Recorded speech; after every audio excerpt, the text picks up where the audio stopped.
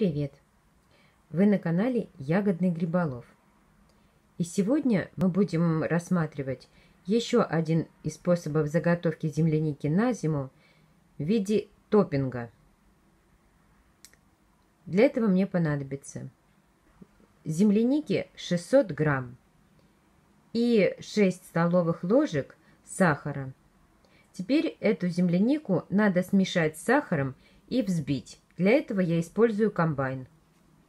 Ягоды я пересыпала в комбайн. Туда же добавляю сахар.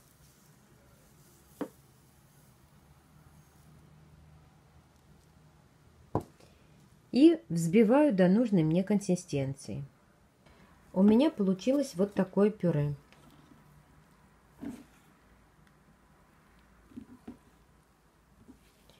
Сахар можно добавлять по вкусу. Пюре можно сложить в любую форму и хранить в морозильной камере. Затем использовать как ягодный лед. А можно закатать в банки и хранить в прохладном месте.